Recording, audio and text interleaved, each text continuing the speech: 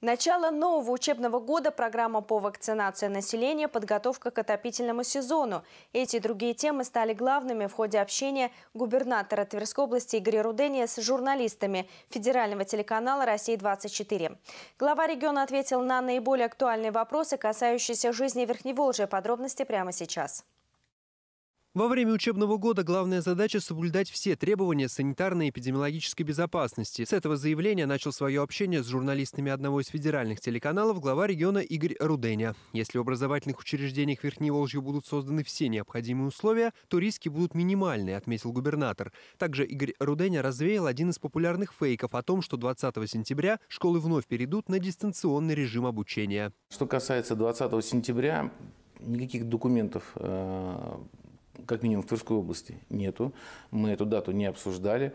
Также в числе первых прозвучала тема обеспечения горячим питанием учеников начальных классов. Тверская область стала одной из первых, где с 2007 года младшие школьники получали бесплатное горячее питание. Благодаря поручению президента России Владимира Путина в этом учебном году в два раза увеличена стоимость одного завтрака или обеда. Мы внимательно следим, как это реализуется, и я надеюсь, что и ассортимент будет больше, с учетом того, что мы увеличили а, объемы финансирования, и а, свои деньги уже а, мы можем направлять на развитие. Это там, модернизация оборудования кухонного, столового оборудования, а деньги, которые нам федеральный центр дал, они уже будут направлены на организацию горячего и еще более качественного, лучшего питания для наших ребятишек.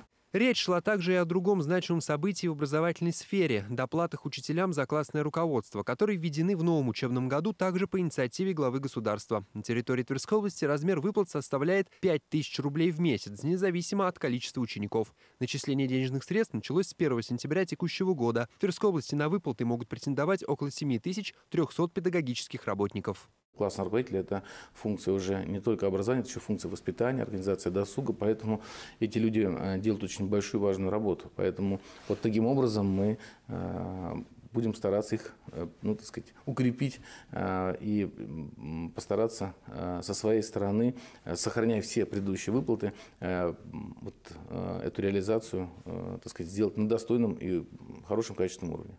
Одна из тем касалась вакцинации населения от ОРВИ и гриппа. В первую очередь планируется привить работников сфер здравоохранения и образования, коммунальной сферы, детей до 7 лет, беременных женщин, людей с хроническими заболеваниями и призывников. В общей сложности в Тверской области планируется привить до 740 тысяч человек.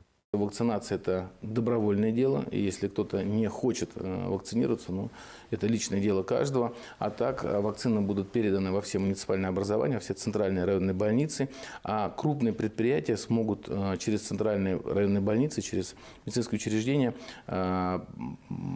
попросить, и наши медики к ним приедут на территорию, чтобы людей не отвлекать.